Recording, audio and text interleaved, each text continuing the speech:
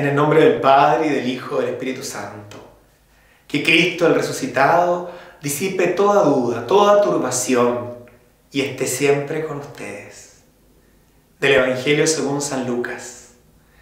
Los discípulos que retornaron de Maús a Jerusalén contaron lo que les había pasado en el camino y cómo habían reconocido a Jesús al partir el pan. Todavía estaban hablando de esto cuando Jesús se apareció en medio de ellos y les dijo, la paz esté con ustedes. Atónitos y llenos de temor, creían ver un espíritu, pero Jesús les preguntó, ¿por qué están turbados y se les presentan esas dudas? Miren mis manos y mis pies, soy yo mismo, toquen y vean. Un espíritu no tiene carne ni huesos, como ven que yo tengo. Y diciendo esto, les mostró sus manos y sus pies.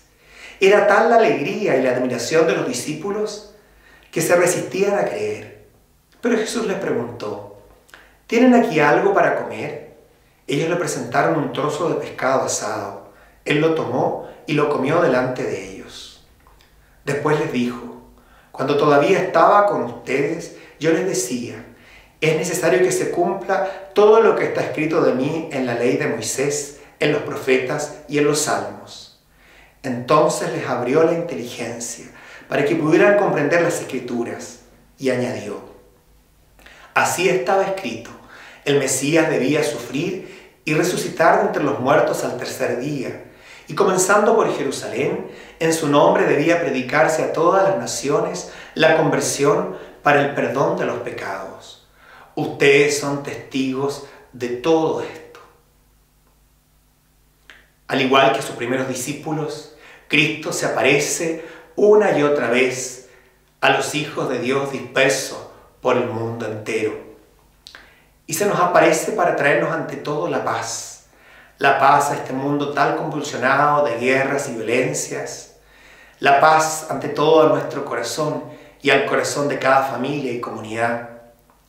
Y luego nos invita a que desaparezca de nosotros toda turbación, toda duda, para que podamos ser auténticos testigos de su resurrección.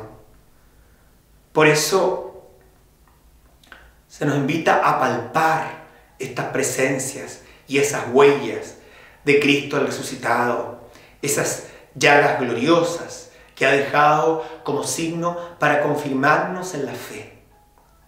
Que esta octava de Pascua disipe de nosotros toda turbación en el corazón y ahuyente de nuestro espíritu toda secuela de duda, para que nada opaque el que podamos ser, como los discípulos de la primera hora, auténticos testigos de todo esto.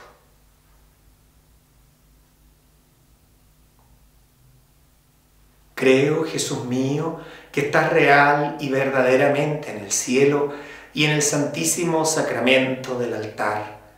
Te amo por sobre todas las cosas y deseo vivamente recibirte dentro de mi alma. Mas, no pudiéndolo hacer ahora sacramentalmente, ven espiritualmente a mi corazón. Y como si ya te hubiese recibido, te abrazo y me uno del todo a ti. Señor, no permitas que me separe de ti. Que en este día jueves de la octava de Pascua les bendiga aquel que es Padre, Hijo y Espíritu Santo.